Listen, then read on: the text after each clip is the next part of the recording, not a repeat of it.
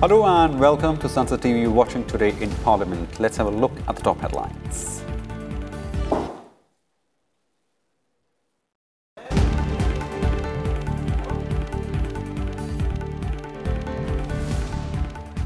In the Rajya Sabha, Finance Minister Nirmala Sitharaman assures MPs that MP-led commitments of 2019-20 will be honoured.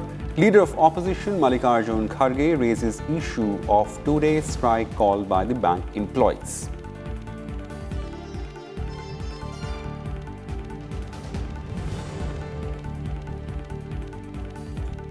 Two health bills listed in Rajya Sabha for considering and passing. House to also take up further discussion on the working of Jal Shakti Ministry.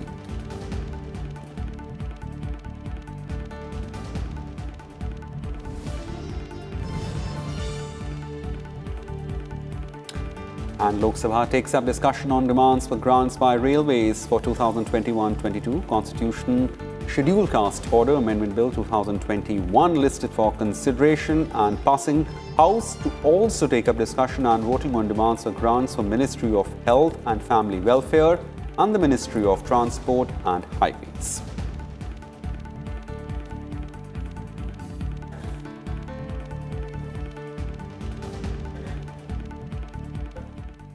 Well, news in details now. First, a look at the legislative business in the upper house so far in the day. The House will take up further discussion on the working of the Ministry of Jal Shakti. The Rajya Sabha on Monday took up discussion on the performance of ministry evaluating works done by it in the recent past. The debate was initiated by Congress MP Digvijay Singh. Also listed in day's agenda is discussion on the working of Ministry of Railways, Ministry of Tourism and the Ministry of Food Processing Industry. Two key bills are also listed in upper house for considering and passing. Union Health Minister Dr. Harshvardhan will move the Medical Termination of Pregnancy Amendment Bill 2020 to amend the Medical Termination of Pregnancy Act 1971 as passed by Lok Sabha. Dr. Harshvardhan will also move the National Commission for Allied and Healthcare Profession Bill 2020 to provide for regulation and maintenance of standards of education and services by allied and healthcare professionals assessment of institution, maintenance of central register and state register.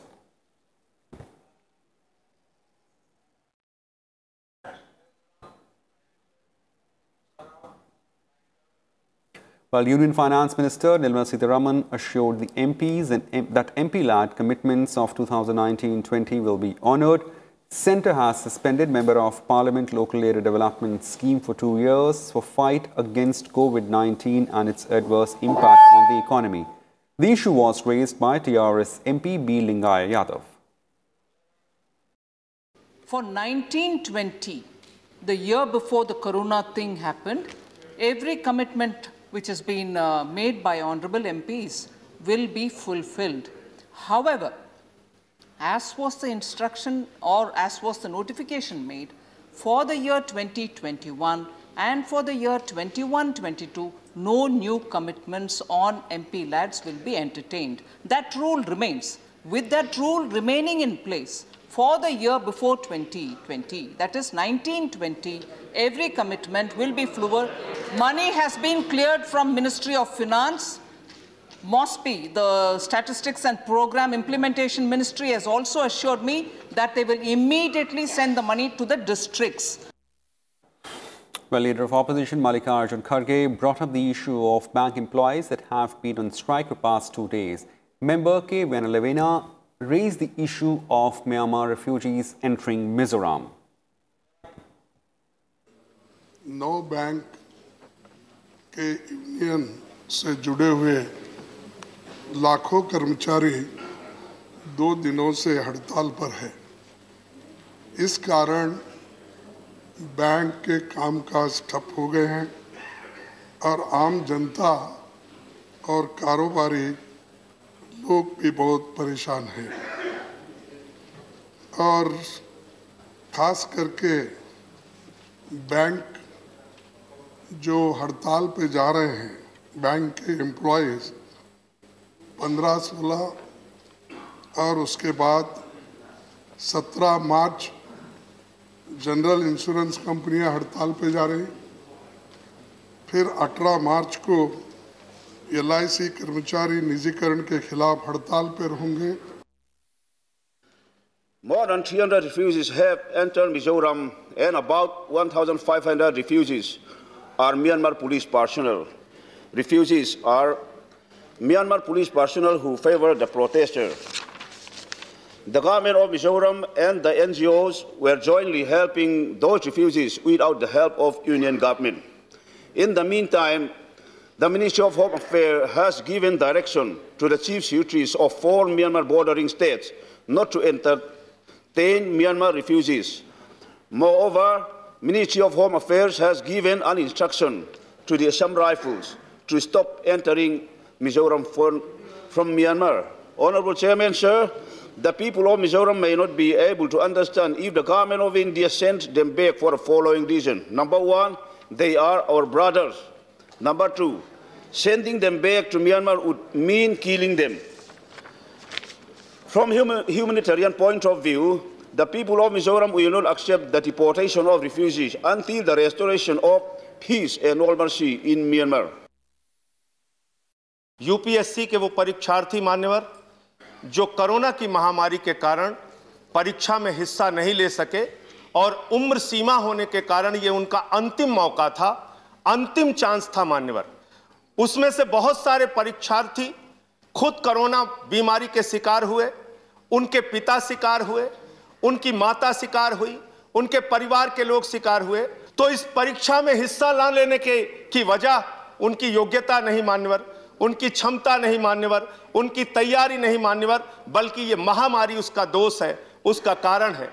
इसमें से बहुत सारे ऐसे परीक्षार्थी थे मान्यवर, जो doctor हैं, जो पुलिस हैं, जो कोरोना योद्धा हैं, जिन्होंने इस कोरोना महामारी के दौरान काम किया सेवा की लोगों की। सरकार से अनुरोध करना चाहता हूँ कि इसमें उन छात्रों का कोई दोष नहीं है। उनके भविष्य के साथ खिलवाड़ ना हो उनके जीवन के साथ खिलवाड़ ना हो। इसलिए सरकार उनके बारे में गंभीरता पूर्वक सहानुभूति पूर्वक विचार करे और उनको अतिरिक्त मौका दिया जाए मान्यवर।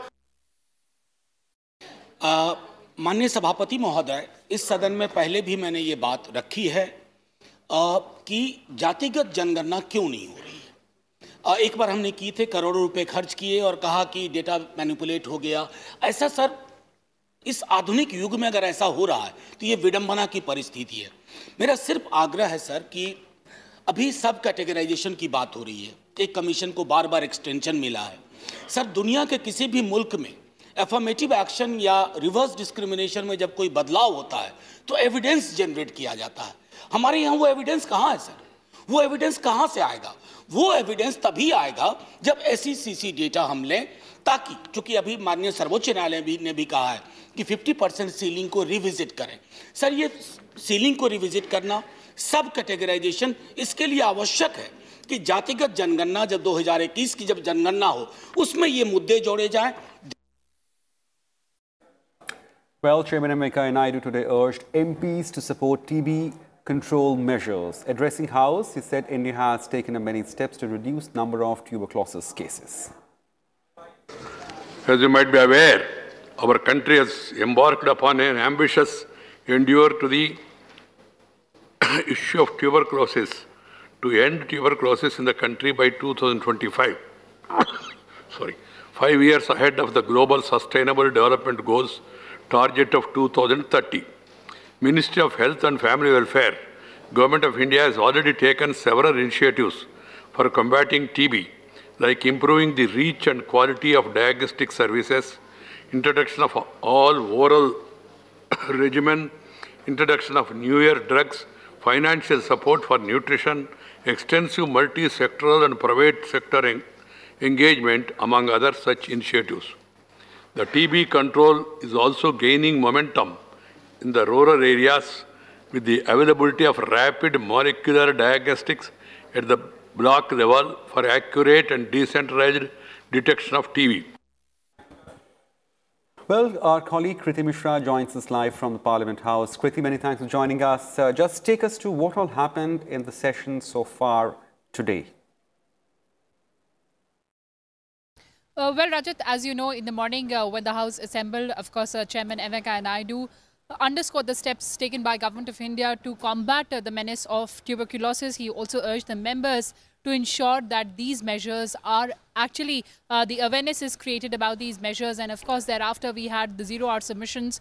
Almost all the zero hour submissions uh, were taken up in the house. And as you have already told in your story that Mallikarjun raised the issue of uh, bank employees uh, strike and also other important issues were raised, uh, including the MPLAD funds, wherein the finance minister assured the members that the MPLAD funds uh, for the year 2019-20 would be released, but no further request for the MPLAD would be entertained because for two years, Government of India has suspended MPLAD funds for combating the coronavirus pandemic.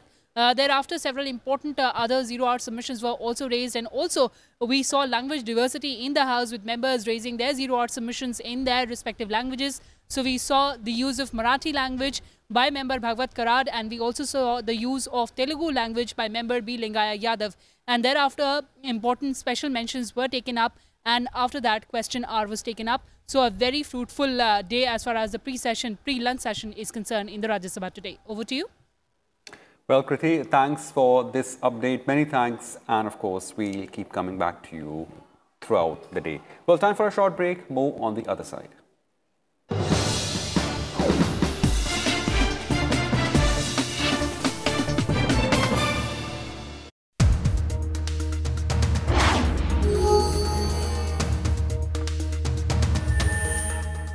क्या आप जानते हैं कि देश का पहला digital विधानमंडल कौन सा है?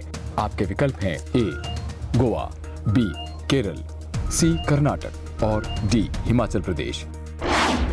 सही जवाब देखिए आज रात साढ़े आठ बजे, सिर्फ़ राज्यसभा टीवी पर।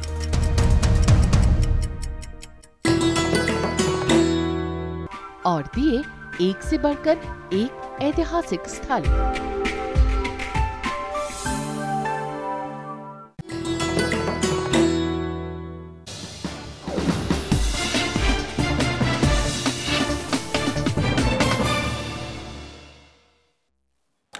Welcome back. You're watching Today in Parliament with the host Rajat. Well, moving on to other news in this bulletin. During question hour, Health Minister Harshvardhan says 75 medical colleges are sanctioned across the country, while Ayush Minister Kiren Rijiju said the world is praising the Ayush Ministry's effort in boosting immunity during the COVID-19 pandemic. Government is an mission to strengthen the public hospitals and reduce the medical expenditure burden on the poor. The government is going to sanction 16 medical colleges across the state, out of which three colleges have been sanctioned by Government of India. I would like to know the Honorable Minister whether the government is proposes to provide financial support for the remaining 13 medical colleges. Uh, the government has in fact in the second tenure of the Prime Minister Narendra Modi ji sanctioned 75 new medical colleges in various states of India and these are uh, uh, preferably in the aspirational districts or the uh, districts where the most deprived and the downtrodden people they live and where there is no medical college either in the government or the private sector. All these 75 colleges across various states in the country, they have been finalized, they have been notified, the state governments have been informed, and the government of India supports 60% uh, of the budget expenditure on these medical colleges. कि आर्यवादा में surgery को allowed किया गया है और उसमें जो medical colleges हैं जो आयुर्वेदिक के, वहाँ इंफ्रास्ट्रक्चर की कमी है। ताकि जो पीजी स्कॉलर हैं, क्या गवर्नमेंट ने कोई असेसमेंट की है कि ये डिफरेंट ये कॉलेजेस हैं जो आयुर्वेदिक मेडिकल कॉलेजेस खोले गए हैं, कहाँ पर, वहाँ पर इंफ्रास्ट्रक्चर और उन स्कॉलर को, उनकी टेक्निक और इंडिपेंडेंट परफॉर्मेंस के लिए वो आगे कैसे बढ़ सकते हैं, उसके लिए को गवर्नमेंट ने कोई असेसमेंट की है? और जब से आयुष मंत्रालय का गठन हुआ, उसके बाद काफ़ी इसमें काम हुआ है। टोटल जो शल्य तंत्र का है कॉलेज है 46 है। और शाला का तंत्र का टोटल चार कॉलेजेस हैं, और दोनों मिला करके 45 और दोनों शल्य तंत्र और शाला का तंत्र, दोनों जिस कॉलेजेस में ऐसा 45 तो टोटल कॉलेजेस हो गया 95 और टोटल सीट्स 526 527 सीट्स शल्य तंत्र के लिए और 240 सालक्य तंत्र के तहत यहाँ देश में इस वक्त मौजूद है We'll, now take a look at legislative business in Lok Sabha. Well, the Constitution Scheduled Caste Order Amendment Bill 2021 is listed for considering and passing in the lower house to amend the Constitution Scheduled Caste Order 1950 to modify the list of scheduled caste in Tamil Nadu. And the House will also take up discussion and voting on demands for grants under the control of Ministry of Education, Ministry of Health and Family Welfare, and Ministry of Road Transport and Highways for 2021-22.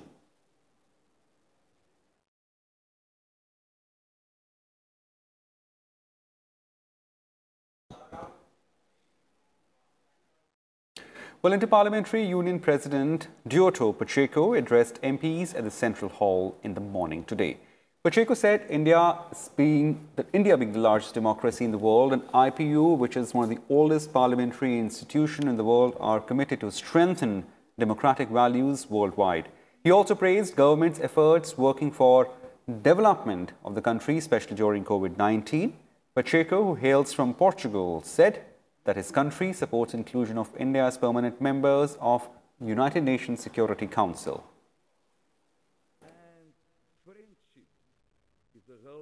During the last years, with your leadership, we, and with concrete, concrete decisions and actions, India has registered a huge economic and social development reducing poverty. And uh, it shows the end the, to, to reducing poverty. What is this? The most important task to all politicians. And that, re that reinforce your work, reinforce the image and the power of India in all over the world. In UN, United Nations, where Portugal supports the reform process and the inclusion of India as a permanent member of the Security Council. IPU defends democracy for all and put members from different parliaments discussing global problems to find global solutions. With more women and more young people.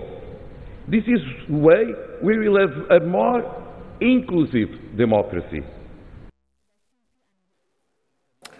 Welcoming the IPU President, Lok Sabha Speaker Om Birla stressed strengthening of Indian democratic system. और ये भाई भाई सब आगे की तरफ बढ़ते हुए वैश्विक परिदृश्य में जब लोकतंत्र पूरी दुनिया में विस्तार हो रहा है। मेरी अपेक्षा है कि पूरी दुनिया में पार्लियामेंट डिप्लोमेसी बढ़े। लोकतांत्रिक देशों की संसदों के बीच नियमित संवाद हो, आपसी विचार हो, ताकि हम एक दूसरे की बेस्ट प्रैक्टिस का लाभ उठा सकें। हमारी संसदीय पद्धतियाँ, नियम प्रक्रियाएँ और अधिक लोकतांत्रिक हो। लोकतंत्र की कसौटी यही है कि सर्वोच्च प्रतिनिधि संस्था के रूप में संसद एवं अन्य सभी लोकतांत्रिक संस्थाएँ जनता के हित में व्यापक काम करे, जवाबदेही के साथ काम करे। आईपी के साथ आपके लंबे एसोसिएशन और विभिन्न समितियों, समूह के साथ आपके कार्य और अनुभव को देखते हुए मुझे आशा करता हूँ कि आप भविष्य में राष्ट्र के बीच परस्पर सहयोग और वैश्विक राजनीतिक संवाद में आईपीयू के मत को और बढ़ाने में अग्रणी भूमिका निभाएँगे Well, Deputy Chairman of Rajya Sabha, Harivansh listed methods adopted by Parliament during COVID-19 to ensure smooth and uninterrupted functioning of the Parliament House. Prime Minister Modi, Union Minister and MPs from both House of Parliament were also present at the event. कि पूरी दुनिया में Our founding fathers, sitting in this imposing central hall while framing the Constitution of India, visualized Parliament as the prime mover for building a new and a strong India and the socio-economic transformation of its people. Over the last more than seven decades, our Parliament has enacted several progressive legislations to safeguard the rights and interests of the people. Guidance of Honorable Chairman of the Rajya Sabha and Honorable Speaker of Lok Sabha did discharge their constitutional duties during this pandemic. Special arrangements were made to meet in September 2020 and during the ongoing budget session by strictly adhering to the COVID-19 protocols and guidelines to ensure the conduct of its sittings in a safer environment. Our Parliament has provided all the requisite legislative and other support to the genetic efforts of the government to meet the unprecedented challenges of the pandemic, its management and impact, as well as other crucial issues before the nation. Well, that's it in this bulletin today in Parliament. Thanks for watching Sansad TV. Goodbye.